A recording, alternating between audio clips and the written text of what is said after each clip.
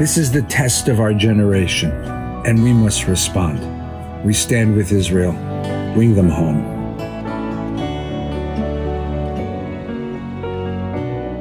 As Jews, we must redeem all of the hostages.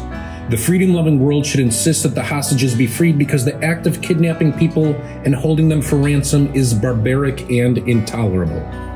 Why aren't we shouting about all of the hostages? We must sustain the level of pain and anguish that we felt on October 7th.